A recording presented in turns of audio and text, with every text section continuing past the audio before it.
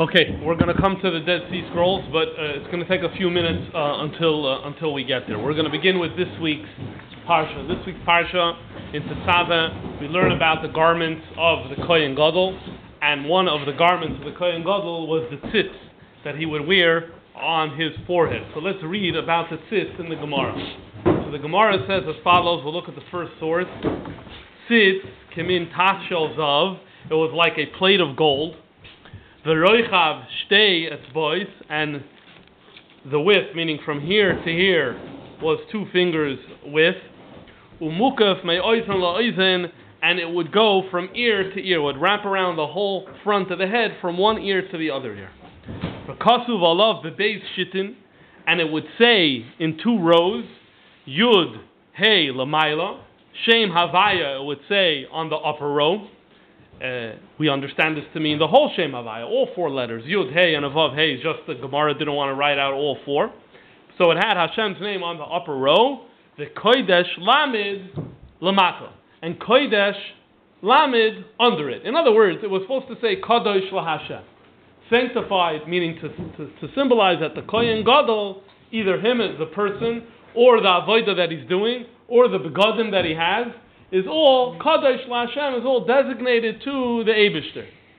But you can't have, as Rashi is going to explain in a second, you can't have Hashem's name under. You can't have Hashem's name under. And so because it had to be two lines, you know, Kadosh LaHashem, you had to actually read it from bottom up. You actually read it Kadosh Le Hashem on top. Okay, let's read Rashi. Rashi number two. Kaloimar. We mean to say Hashem Hashem Shalem was Bishita Oyoina. The full name was on the upper row. The Kodesh Lamid was Bishita Tachtoina on the lower row. Why? Shaloi Lahaktim Sha'ar Oisif Lamaylam and Hashem. We don't want to put other letters above the Shem. This is the Tanakama of the Brisa. However, he's not the final word. Then you have one of the Tanoim named Rabbi Elazar Ber Yosi. This is sometime during the second century that he uh, is living, as we'll soon see in a second. He lived at the same time as Shimon Bar Yochai. So it's a generation after Rabbi Akiva. And he writes, Anira isi v'iraimi. I saw the tzitz. Yes. I saw the tzitz in Rome. He says, Kasuv kodesh Hashem b'shita achas. However, you guys have it wrong. You think that it was written on two lines. I saw the tzitz in Rome, and this uh, fits into a tradition that some or all, but probably some, of the Inyanim of the Beis Hamikdash, the Kalim of the Beis Hamikdash, ended up being taken to Rome. He says, I saw it there, and it was on one. When was he in Rome? So very briefly in number four, I'll summarize what the Gemara says in Me'ilah. The Gemara says in Me'ilah that one time the Roman government passed a law in Eretz Yisrael that uh, Jews should not uh, keep Shabbos. We know from other sources, Hellenist sources, that they had a big problem with Shabbos because they felt that that meant you were lazy. Uh, Mila, we know also that the Hellenists, the Greeks, and then later the Romans as well, had a big problem with Mila because the body had to be perfect, and the idea of compromising uh, the body uh, was something that was a value they disagreed with. And the third one was mikvah here. Here, this is unique. You don't have this in many of the other sources. The idea of that they should not, um, that that uh, women should not be able to go to mikvah, which means taras mishpacha should not be kept. So the Gemara describes how there was a man by the name of Rabbi Reuven ben Istrobli, and how he dressed up like a Roman. It says he took a Roman haircut and everything. He disguised himself, and he comes to lobby in Rome, and he basically tells them. Um, look, we hate the Jews. We're anti Semites. We hate the Jews. So if you hate the Jews, you might as well do legislation that harms them. So if you tell them, if you, if you, if you allow them to keep Shabbos, who are they harming? They're harming themselves. They can come poor. If you tell them that they, uh, the, that they, that uh, you keep Taras Mishpacha, so that means for more, uh, for more days in a month they're not having relations, so there'll be less children. This is what he said. And uh, Mila, you become weaker. So what do we care? Let them do these things. They're harming themselves. So everyone said, "Oh, you know something? You're right. It makes a lot of sense. We should let the Jews do this because it's they're self-harming, and so this is fine." When they later found out that this uh, Reb Ruvain was really a Jew who disguised himself, so they, they felt tricked, and so all the laws snapped back on, and they put all the regulations. So now the Jews in Israel have to figure out what they're going to do. So they said, "We need to send a new delegation. Who's the delegation going to be? Reb Shimon Bar Yochai. Why? Because Reb Shimon ben Yochai is a miracle worker, so we're going to send him. then who is he going to go with? So they like obviously we need to send him with someone. So they chose Rabbi Elazar Rabbi Yossi. They chose this time Rabbi Rabbi Yossi. Why? There is no explanation given in the Gemara why they specifically chose him, but they chose him. Anyway, they go. They come to Rome. The emperor, no name is given, but the emperor's daughter is uh, is sick with some sort of spirit, and they heal her and they get the spirit out of her. And so the emperor says, "Whatever you guys want, I'll grant your wish." So to do that, the emperor brought them into the place where he has all his treasures. And that's where they found the document that had this Gzeira, and they tore it up. And so the Gemara says, and that's when Rabbi Elazar ben Rabbi Yasi saw the items from the Beis Hamikdash, because we have another Gemara where the same Rabbi Elazar ben Rabbi Yasi says there's a discussion about on the, the service on Yom Kippur with the blood, whether when they would sprinkle the blood it had to hit the paroiches or not.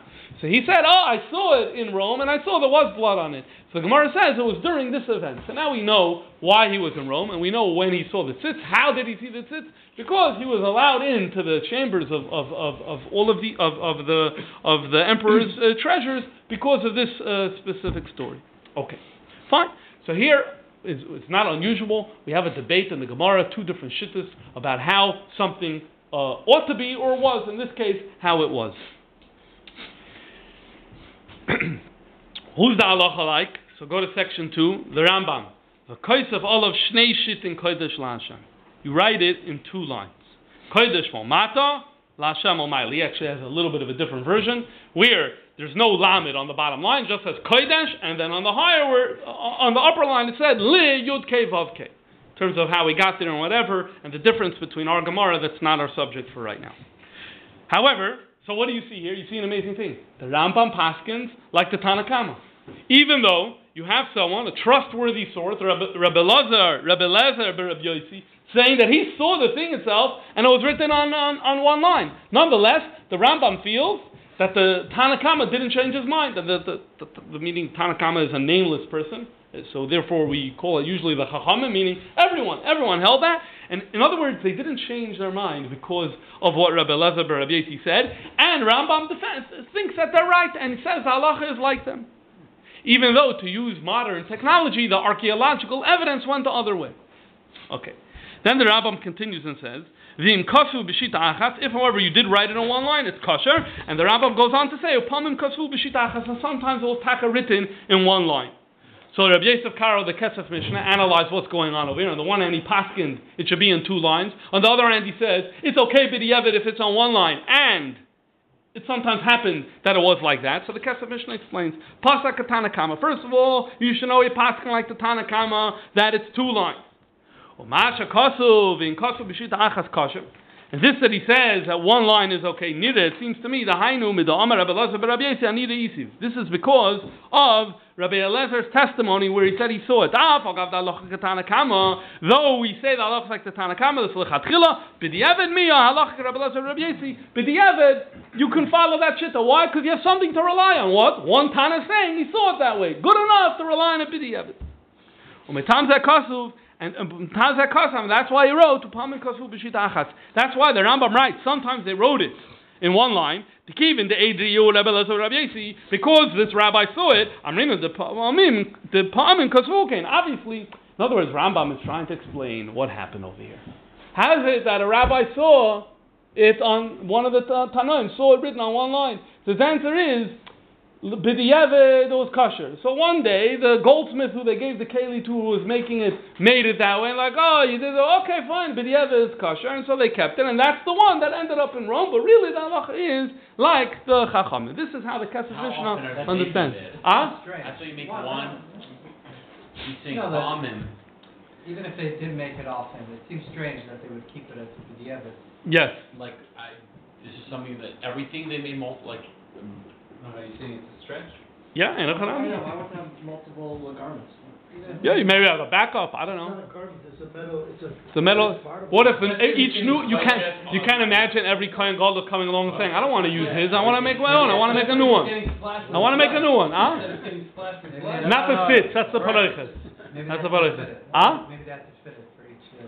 Oh, that's the fitted. No, but still, why would they? Yeah, it wasn't. It wasn't like that. It wasn't like a. keep it together? Hmm. Why would they keep It's it? it's it's it's it, it, it, indeed it is bizarre.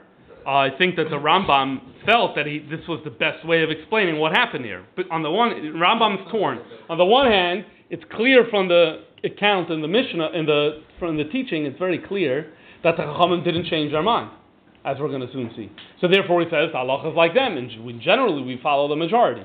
On the other hand, there's got to be some legitimacy to him, and after all, didn't he see something? So his theory is this is his solution. L'chatzila should have been this way, but the evidence okay, and that's why it once happened that it ended up this way. You see, the Rebbe is going to offer an alternative way of understanding what's happening.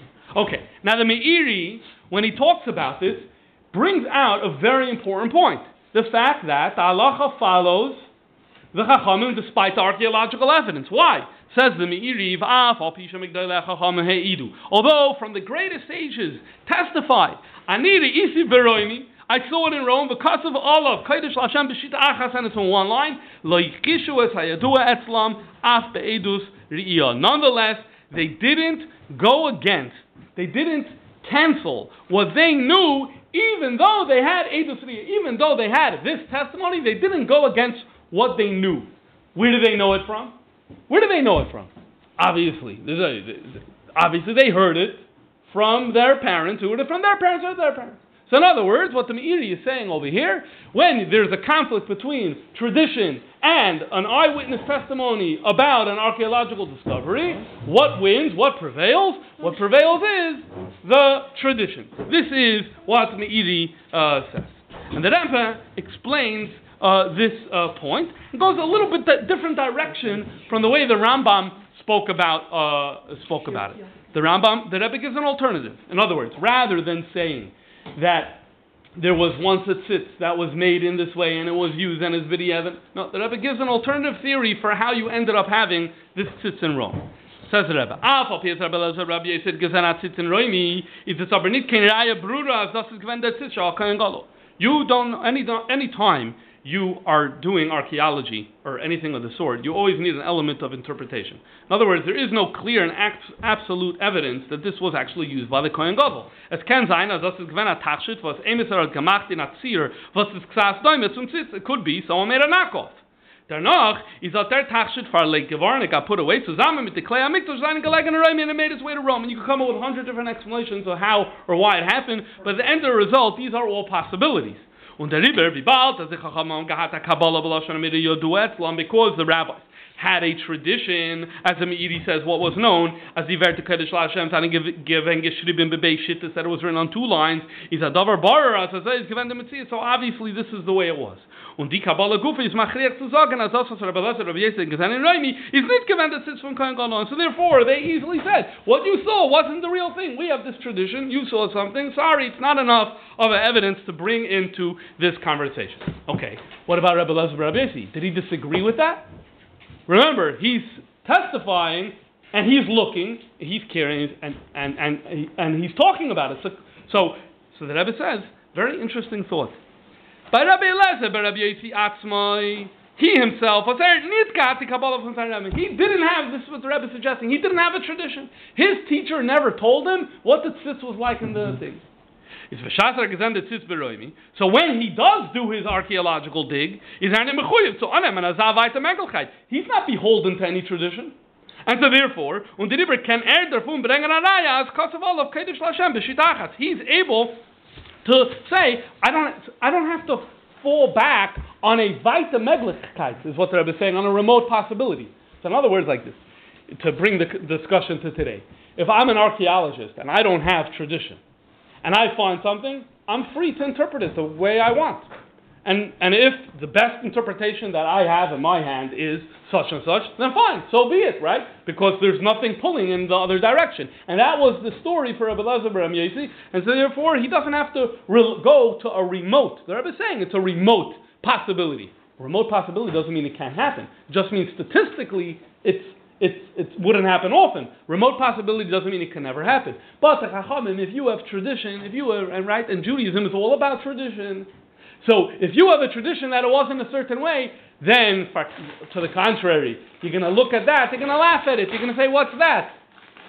you're going to fall back on the remote possibility and say this isn't the real thing, and it was never used in the Beis Hamikdash. Not like the Rambam that maybe it was. It was never used in the Beis Hamikdash. It was just a knockoff or whatever type of explanation may be given. This is the way the Rebbe understands what the Meiri is saying and why the Chachamim therefore disagreed with uh, um, the Rabbi Elazar and why and why the Rambam ruled in that way.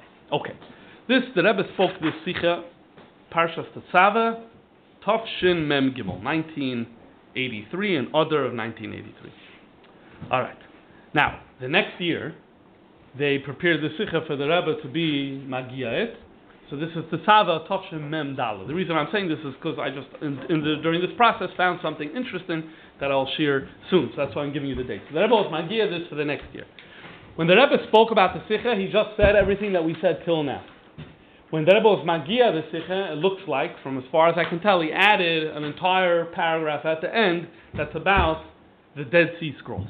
The Dead Sea Scrolls is something we can talk about for 10 different uh, classes, and maybe we will continue on related subjects in future weeks.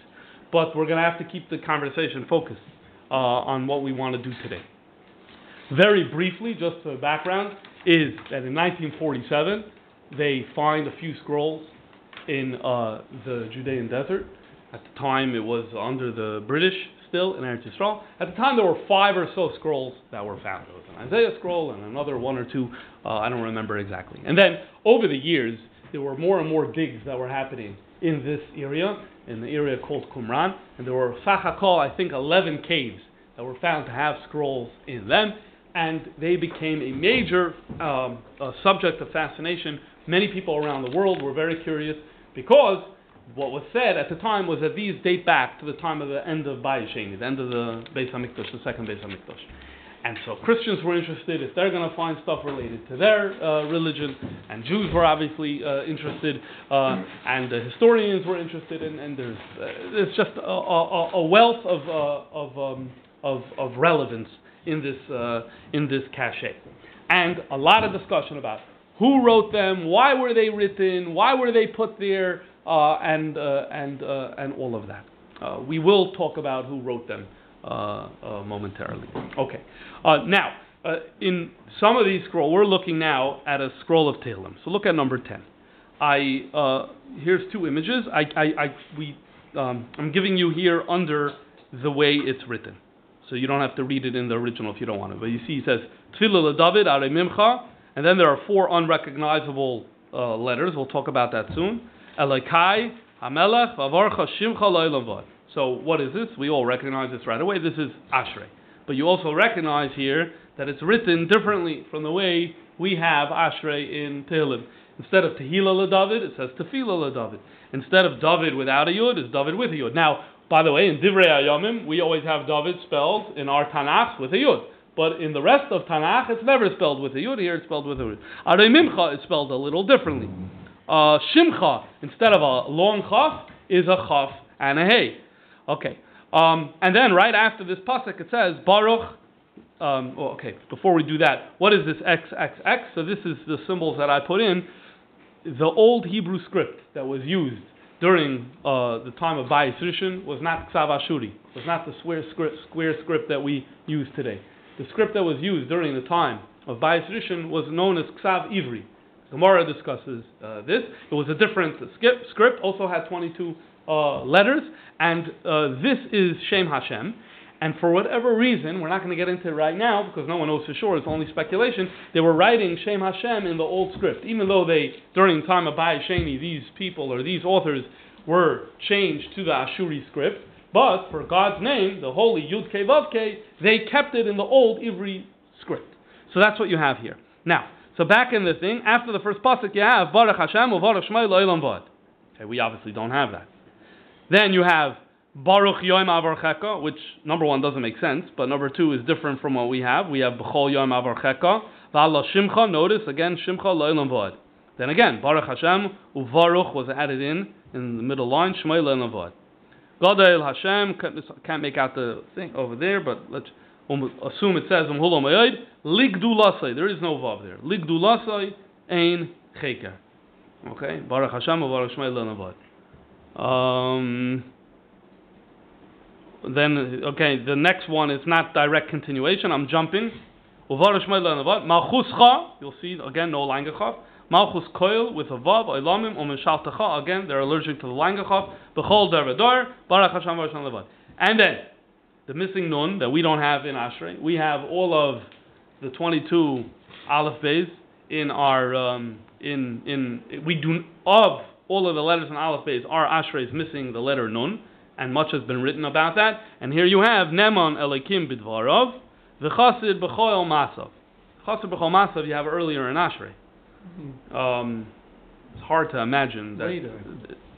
Okay, maybe it's later. Later. It's hard to imagine that the same poem would use the same phrase twice, but here you have it. And then Baruch Hashem, Baruch Hashem. Okay, so there's a few things that we need to discuss over here. First of all, what's this Baruch Hashem or Baruch Shmuel So most people don't assume that this is a this is a version of Tehillim that's like, oh, this is Tehillim. The assumption is that this was a Tehillim that was uh, used for liturgical purposes and used for liturgical purposes in a shul or some sort of setting, it was this added pasuk was given. So you have a saying and then a kol responding. But uh, that's papashtos what this uh, Baruch Hashem Baruch is. Okay, so once we put that aside, what, what, where, does that leave us? That leaves us here with two things. Number one, you have a significant difference with our Tehillim in the fact that the letter Nun is presented here, and um, there you could go two ways.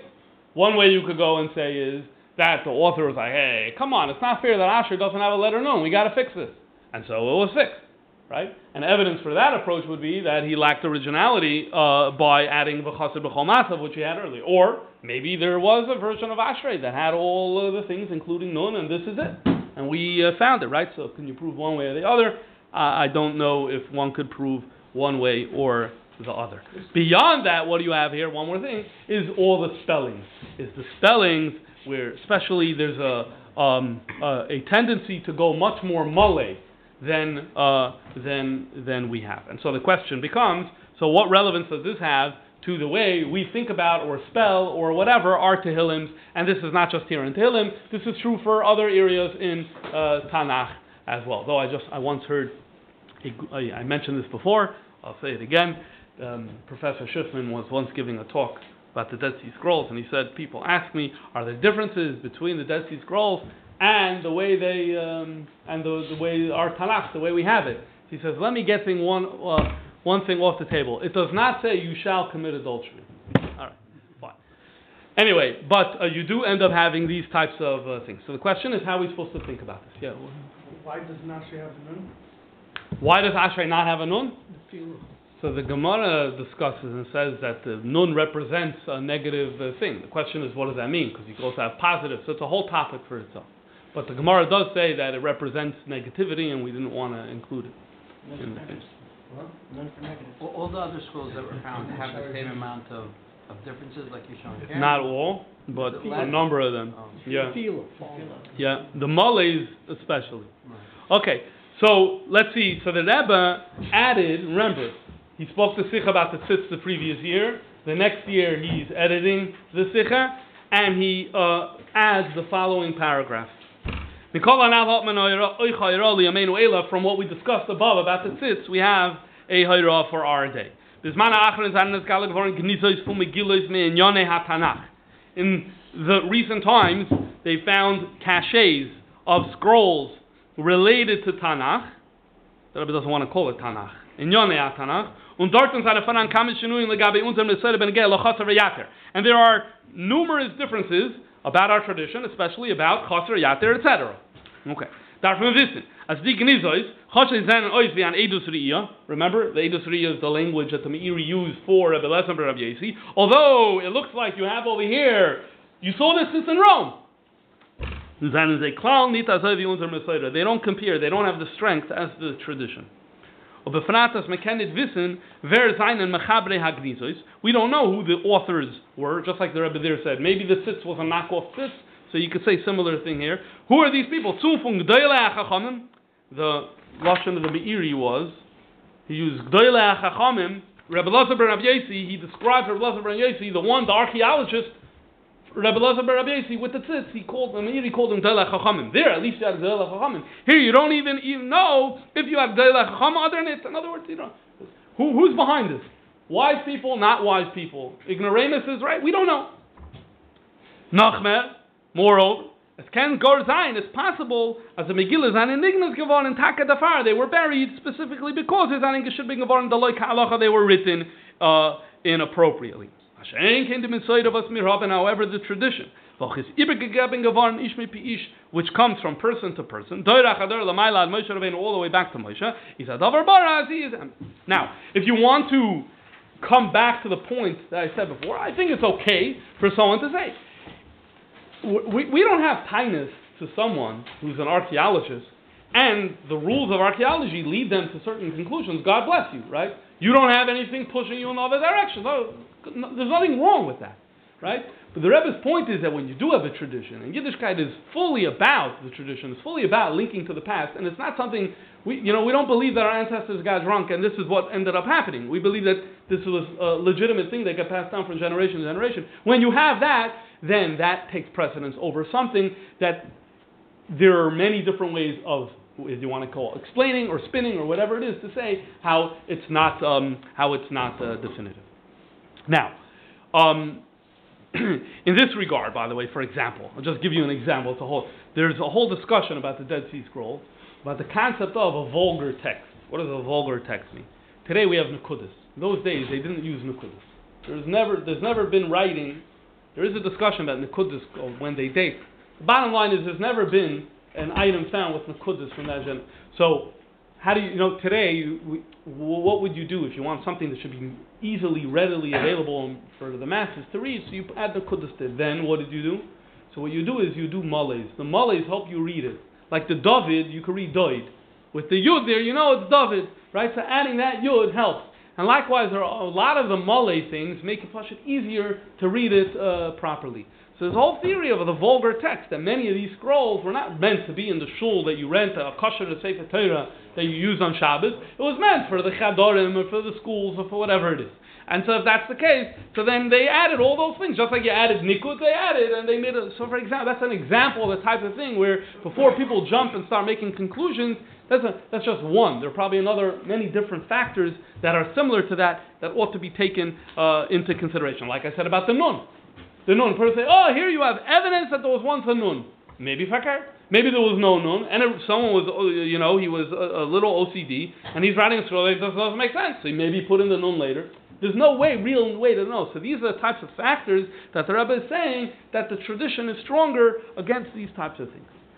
The interesting thing is that uh, the Rebbe cites a, a, a, analog to this discussion about tefillin. What do I mean? This idea of saying, you know, maybe that's why they were buried, actually has precedence and came up way earlier, a few hundred years uh, years ago. Why?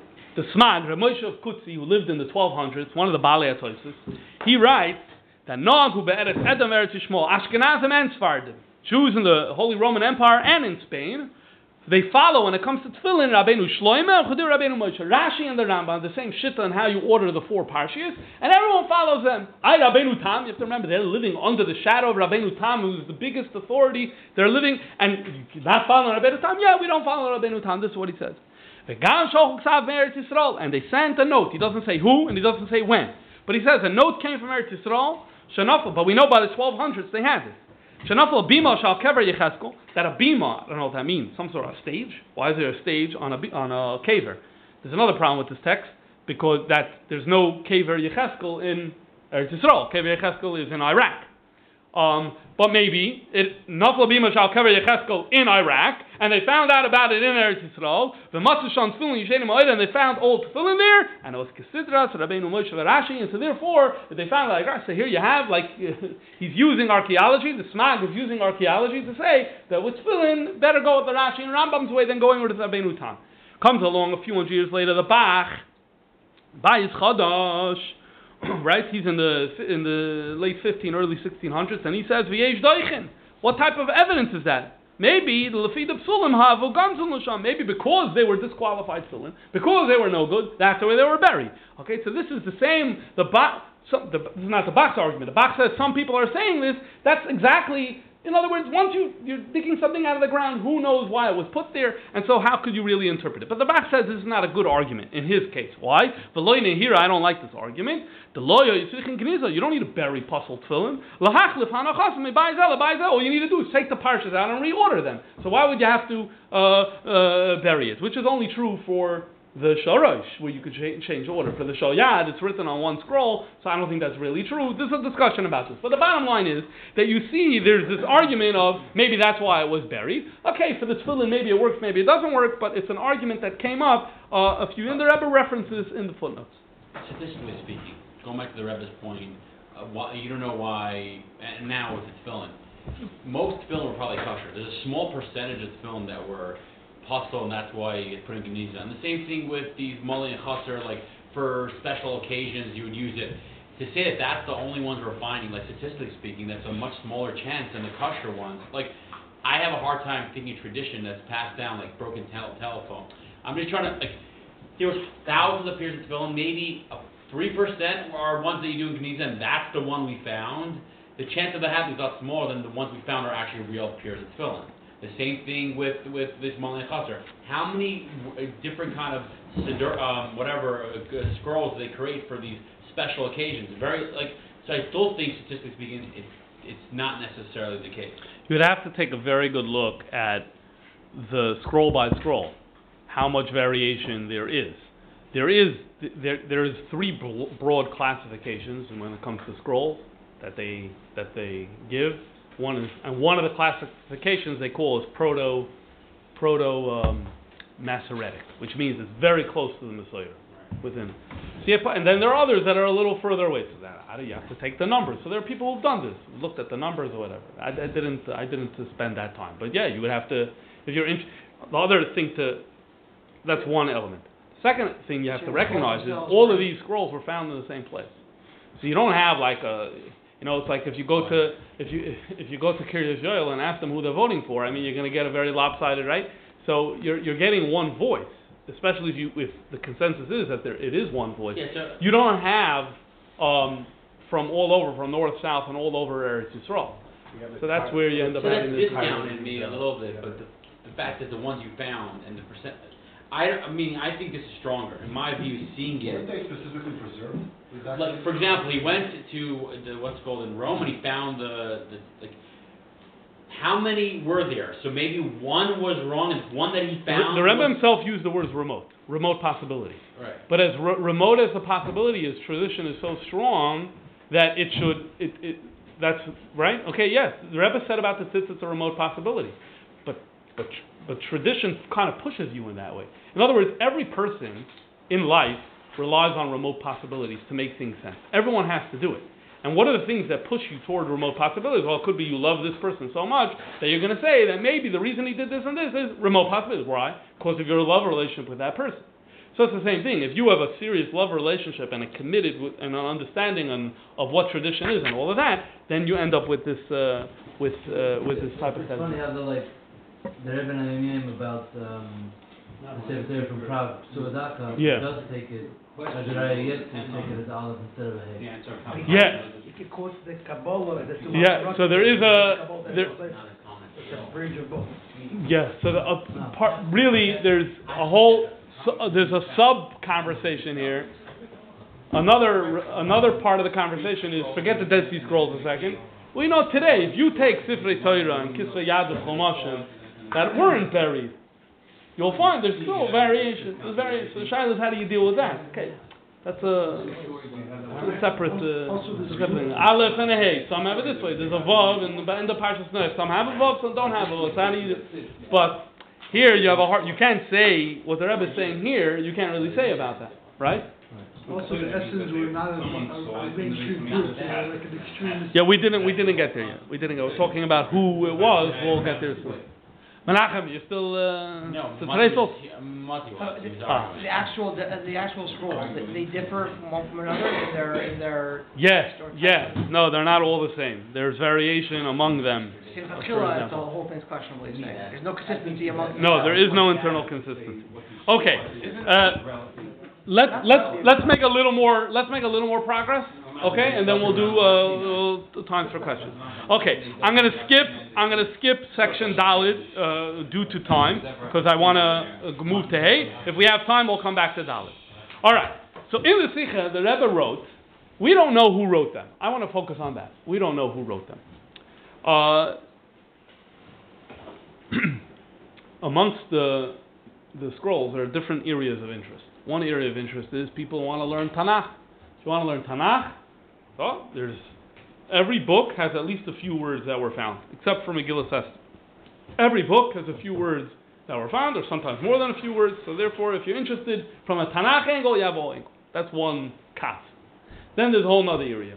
We know that what Chazal calls Svarim Chitzonim. Svarim Chitzonim were books that were written by Jews for Jews, but they uh, and maybe the authors wanted them to, so to speak, make it into the Ksuvim, the last section of the Tanakh, but they were rejected by Chazal and they were not included in in the canon, in the biblical canon. These are called Svarim Chitzonim. For example, the book of Maccabees. For example, there are others. So there's a whole many of these were found. Uh, that, so people are interested in what's called the apocrypha, so they can cut in that. Fine. Then there's the third category. Third category is just regular writing. Regular writing. So we're going to turn now to some of the regular writing. There was a letter the, that is known in Dead Sea Scroll literature as MMT. They call it, scholars call it Mixus Maise Torah because it uses that word in the document. And you see an image of it here in number 16. And the general thrust of this document says, You guys are all bad. This is what it says. You guys are all bad because you say this. And you're bad because you say this. And you're bad because you say this. And there's a whole list of a whole bunch of things. We're going to focus on two of the things that it says there. You're bad because of you say this. And it's, you'll be able to tell right away. It gets into legal matters. So let's read the text over here. Um, uh, means to pour, pouring liquid. Anachnu we say shehem she'ein bahem tara. Okay, we're not going to uh, worry too much about the Hebrew writing here, but they're they're, not, they're impure. and the pure, this pouring liquid, ena mavdilos doesn't divide ben atame between the tame and the tar. Ki leches because the moisture of amakabo mehema and the recipient came lecha achas is like one uh, moisture. Okay. So if someone doesn't have background in halacha and Gemara and Mishnah, whatever, you look at this, it's impossible to make sense what is going uh, on over here. But uh, we'll make sense of it soon. This is one thing. Now go to the next page, 17. Here, this it, this text is a little harder uh, to read. As you can tell, in both cases, the texts are damaged um, and aren't. So sometimes there's always an element of scholarly guessing in terms of figuring out what the missing words are, which either you're right or you're wrong. Okay. Next one, Afal Taras Paras Achatos. This we know what it's talking about because we know the Torah speaks about the red heifer, and that's it calls it a Paras Achatos. Hashoichet Oisa, Va'asoyre Oisa. Notice the spelling.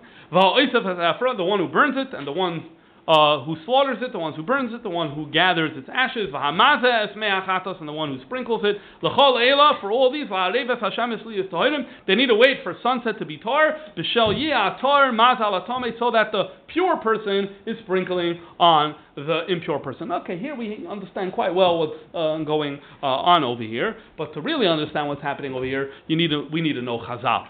So let's look at the Mishnah. Say the Mishnah. The Mishnah number 18. The Mishnah on Yedayim quotes the follows: Oimrim Tzedukim. The Mishnah quote says, the Tzedukim say, Koivlim anu aleichem prushim. We complain to you, prushim. Prushim, we'll talk more if we have time about the word later, if we have time. For now, prushim just means chazal. So we complain to you, Chazal, the Tzedukim. Say, we remember the Tzedukim of the Sadducees is a group in the time of Second Beis Hamikdash that rejects the authority of the rabbis, they reject Torah Shabbat, etc., etc. They say, we uh, uh, complain to you, Prushim Sha'atem Mitarim Es HaNitzoik, that you are Mitar the Nitzoik. What's Pshat in this Mishnah? The Pshat the Mishnah is like this. Let's imagine here I have a cup of water. Okay. And here, let's say this is Tommy. All right. It was uh, Tommy. It was in a tent with a dead person. And now this is Tar. And now I go like this. So right now, that's a Nitzoik and it's it's a connected flow. You see, there's a connection that's going. So the question is, does it the tumah rise up and make this tumah? That's the question. So we have a lot of dinim and tumah and tara. This is the shaila. Really, it's a question in kashrus also. If you have a pig soup over here and you have kosher chicken soup like this and you're pouring and it's connected like this, does the pig soup make the chicken soup treif? It's the same exact uh, question. So, what does Chazal say? They say, Ata mitarim es. Chazal are mitar, which means all this nitzoik is tar. It's tar. Meaning, when does it become tame? When it gets into the walls. But this flow that's right here is still tar. Alachas kam v'kama, this cup is tar. The tzedukim say, how you talking? Really, the tumah should travel up the stream and it should make the upper cup tummy. This is the, the tzedukim want to be more machmir. This gets into a whole other subject because sometimes we hear about the tzedukim and we think they want to be more makel. Here you see, it's not like that, and this is a complicated subject that we're not going to get into right now. Here you see the tzedukim are saying, what's going on over here? You're, making uh, kulas. Look at this kula you're making. Now go back to that text that you saw before from the Dead Sea Scrolls, from MMT. Now we know exactly what it's talking about here. We say, She'em bohem tara, right? The flow is not tahor, going up. And that liquid, does not divide bein atame on the bottom to the Torah at the top. Ki lechas hamatsekos, the moisture of hamakabo mehema, and the recipient came lechachas, it's all like one, and therefore the tumah goes uh, up from the other one. The exact thing that the Mishnah says was a debate between the Tzedukim and the Prushim. And not only the Mishnah says there was a debate between the Tzedukim and the Prushim, the Mishnah says that they tained to us. Here we have a document that says you guys are terrible, you're no good, and why? For th- this actual complaint is documented. The very complaint that Chazal say they had is documented in this uh, passage. Number one. Number two, the second thing about Parasachatas. Look what Mishnah Para says in Perek Gimel. Ziknei Yisrael, Ziknei Yisrael, when they would make the red heifer, this is the Para Aduma, and when someone was uh, Tmei Mace, not only that the wait, and not only had to go to mikvah, and now they also had to have sprinkled the red heifer. Ziknei Yisrael Makdim, so there were ten of them, right? Or there were nine of them. So these were not made often. Uh, Ziknei Yisrael Hayo Magdim Beragleim Lahara Mishcha the elder, the Jew, the elderly Jews, the Zakanim, they would go to Har Hazeisim, the, the mountain of uh, oil. Uvei Spila Yisham, there was a mikvah, and that's where they would um, process the, make the paradum. Says the Mishnah, They would make the kohen who's burning the para, they would make him tame. How? They take a sheret and touch him with the sheret. Why? Because of the tzedukim. That people shouldn't think that that they're right when they say that it needs to have har shemesh. What's going on over here? When you read the Torah, it speaks about um. Says this multiple occasions. That what? Although you went to mikvah on Tuesday morning, you have to wait till the sunset of that night, and only now that the day is over. In other words, you have to have because in the morning you were in you were you were tummy. You have to wait till the day is over. You start a new day, and now you're tar. So this is called Hariv Shemesh. Chazal had a Kabbalah that Hariv Shemesh is, is important, you need to have it, but some things you don't need it. For example, to eat Meiser Sheni, you go to mikvah, you're already allowed to eat Meiser Sheni. Hariv Shemesh is happening later in the evening, doesn't you could eat Meiser Sheni now. Other things not. Truma, no. So it's a whole list of when yeah when no. And one of the traditions they had is that although it is true that the people working on the paraduma have to be tar, obviously, but it's kosher if they didn't have Harav Shemesh yet. It's kosher if they went to a mikveh and they didn't have Harav Shemesh yet. So and the Tzedukim were saying, Nishtazo, you're wrong. And this was a big flashpoint, it was a big fight.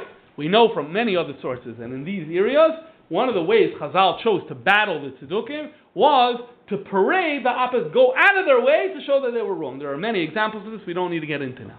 So here they did that too. What did they do? They made the Tame, they made the Kayan Tame. He went to mikvah right there, came up, Okay, he didn't have Harav Shemesh doesn't matter. According to Chazal, he's good. And they would do this the, the five, six, seven, eight times during Bayis Sheni that they uh, needed to do the Paraduma, they did this uh, uh, during uh, during that uh, time. And again, why? Because of the Tzedukim. Now go back to their text. Laval taras paras achatas, hashoichet isa, v'asoyref isa, v'oisef es efra, v'amatas me'achatas v'chol ela, l'halevas hashemesh liyutz tohirim. You need to wait till Harev Shemesh when the Torah, b'shal Torah, mazal atome, so that the Torah, you have a Torah, a complete Torah a person who is sprinkling uh, on the impure uh, person. And this is in the same document. Um, these are not only two examples. any time we, let's say, I don't know the number, but I'm going to just throw out a number. Let's say Chazal gave us 30 cases where Tzaddukim argue with Chazal. Any time any of those cases surface in any of the Dead Sea Scrolls, every single time they're on the side of the Tzaddukim. No exceptions. Every single time.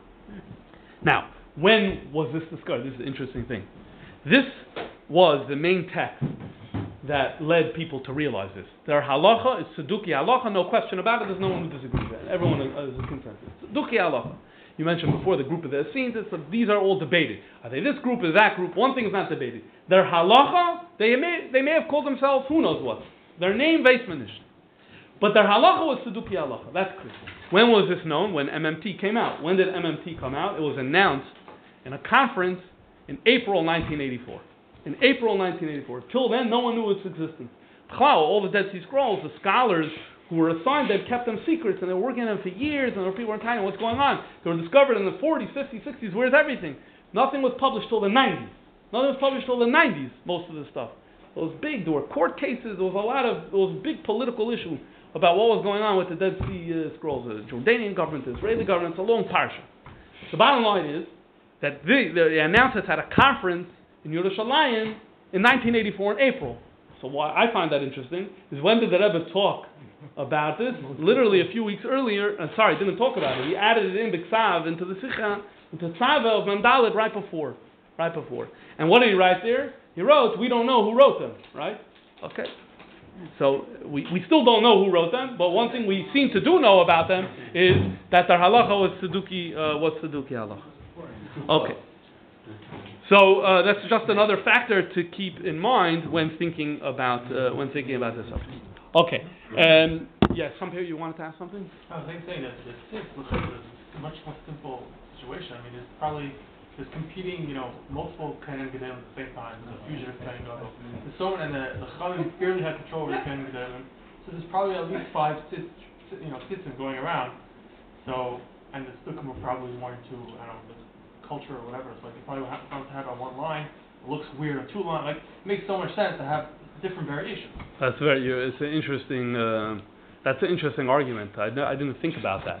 That from what we know about the other tzedukkim, not these guys, because these tzedukkim that we see here are very from, and they like both of them. They're saying Chazal to Mekel, right? Full the, without right. Both of the, and by the way, in all of them, all of them, many, both in our tradition is the tzedukkim are more machmir. On the other hand, we do have traditions of them being uh, almost like Greek um, uh, hedonists. There are some sources like that. And so you could have said that a, a, a Tzeduki Kohen Gadol would say, I don't want it on two lines, especially with the bottom Kodesh Lashem that just doesn't look beautiful, so let me get it on one line, and maybe that's what sends up and run. That's an interesting theory. The Rebbe doesn't mention that, but that's, that's a fascinating idea. Wasn't Yeah. like the thing about the Tzaddukim was that they were literalists? Yeah, so the question is, is that a little bit of a simplification? And uh, it's, it's possible that it is. It's possible that it is. Um, Says at night, at night. It says between the eyes. Right. Yeah. So, for example, we don't we don't see in the sources between the eyes. We don't see that in the sources. Um, at night, each one of these you have to look at separately. It, it looks like I don't know. It may have been a different way of, of, of I'm not I'm not sure anyone could interpret the Bible literally. I, I don't think it's shaykh. So I'm not sure. Yeah. What percentage of Jews were Tzdukim in those days, or we don't know? It's a good question. Josephus says that the majority of Jews followed the Pharisees. He himself says he's a Pharisee, so maybe you say he's biased, but this is what he read. Pharisees are first. Perushim, yeah, yeah. Well, uh, is there a sheet in Gemara that, that says the way the Rambam does, that it's Kodesh Lashem in two different? No, but the Kesef Mishnah says a very interesting thing. He says the Rambam chose to follow Gemara Shabbos, not Gemara Sukkah. That doesn't make sense to us. We look in Gemara Shabbos and Sukkah is both the same thing. And we, there is we don't, all the I looked at the the manuscripts that are available. I looked. I didn't see any of them that match what he's saying. But it looks like the Beis Yosef had a manuscript of a Gemara that did go the, the other way. So I mean, that's the mystery. It says Beferish in the Mishnah. Judaism or. Kind of- It's Fedish in the Gemara. Yeah, it's a Gemara. It's a Brisa. It's a Brisa. Yeah. Judaism. Yeah, so he must have had a different version.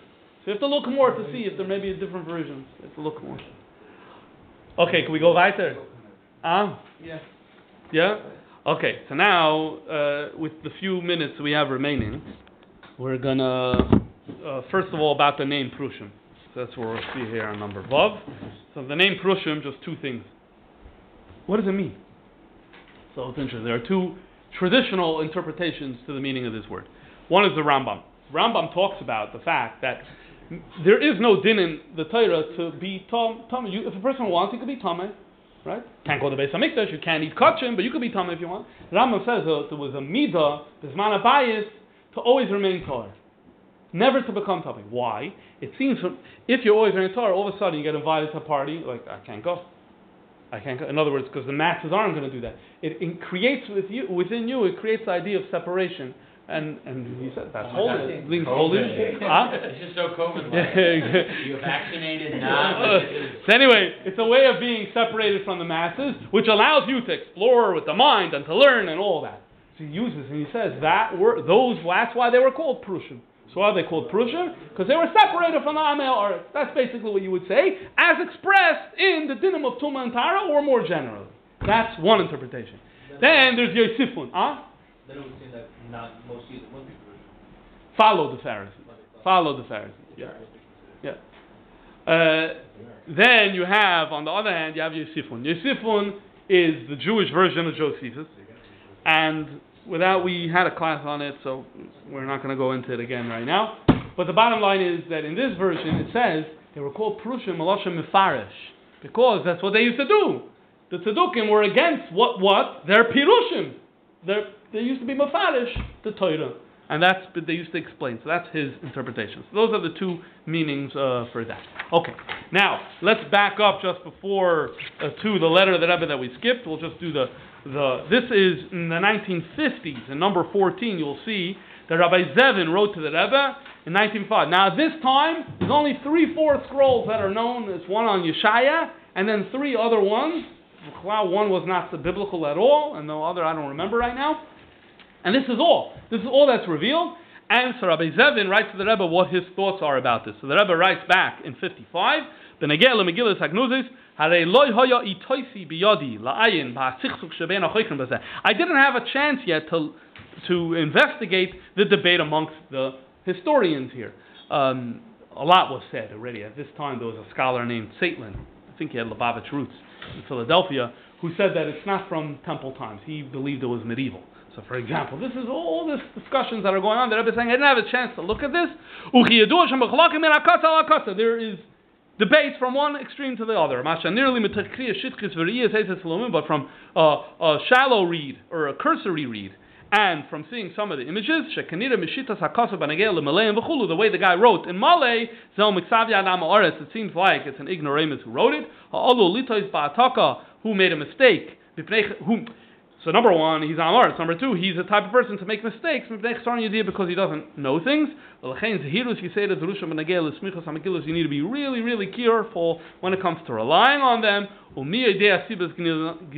Who knows why they were uh, uh, concealed or put away? So that's um, this is what the Rebbe says in the Sikha in Mem, in Mem uh, wrote into the Sikha Mem Dalid uh, already way back in 1955, pretty much writing or saying uh, the same uh, the same thing.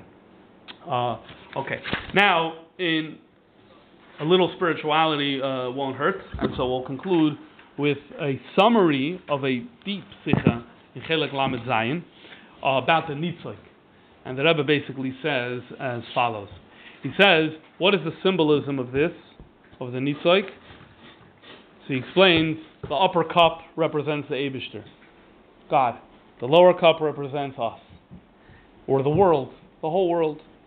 And a person may think that this world is disconnected from God. The truth is, it's not disconnected. This world is always connected with the Abishter. God recreates the world every second. That's symbolized by this nitzok, that connection. Okay, so that's point number one. At the same time, what do we say? The upper one could be tar, and the lower one could be tame. In other words, but if you're connected so the Rebbe explains that the meaning of this spiritually is like this: If we're connected to God every second, you would think that God is tar, so we're also tar. In other words, we, we don't have free choice. We're, holy just like God. And the answer is, well, we do have that connection available to us, but we could go on a different path. The upper cup is tar, and we could be tame. Why? Because He gave us free choice. He gave us free choice, and there- therefore the state of the upper cup doesn't dictate the state of the of the lower cup. We could be on two different paths. The lower one is tame, and the upper one is uh, is uh, tar. Okay. Then what do we say? But if the lower one is hot, I didn't mention this before, but this is the din in tuma and in kashrus. That if the lower one is hot, then it does travel up the stream and it does invalidate the upper one. So that explains what does that mean by void. Obviously, you can't talk about God becoming impure, so that's not on the table right now. But how could what could we say over here? So it's like this: What is heat? The natural position of things is cold, right? Water on its own is cold. You need a human being to use his wisdom and effort to go and to light a fire and to make it hot. So hot, heat represents avodas ha'adam. So you want to know when do you really connect to the Abishter? So much so that you could even change something lamaila through avodas ha'adam. That's a human being is empowered that when he gets hot, hits in avodas Hashem. Okay, you're not going to say that you're going to make it lamaila tame. Fine, not tame, but you can have an effect lamaila. What's the effect lamaila? So to speak, God made himself vul- vulnerable that his pain and pleasure, so to speak, depends on what we choose to do and what we don't do. So that's an amazing thing. That the lower, through being hot, then you have a pull of lamaila in, in causing the nachas ruach to, to the Abishter. The Rebbe says, where does this happen? Mostly when you're tummy. We're talking about on the bottom is tummy. What does it mean when you're tummy? It's because when we make mistakes and we do things that are wrong, and then we do tshuva, that's the real effort. That's the real avodah adam, that's the real thing that has a pu'ula lamaila. Again, not that it could become tame, but the point is that it could have a pu'ula giving the Abishter a nachas ruach. Anyway, this is just one small angle into the vast uh, topic of the Dead Sea Scroll. There are many other areas of interest that are worth exploring, and maybe we'll use a. I don't know if any of you were any of you at a class that I did a few years ago on a morning about the calendar. I did a calendar one. None of you were here, then we'll, maybe we'll do the calendar one next week. It's also fascinating. All right.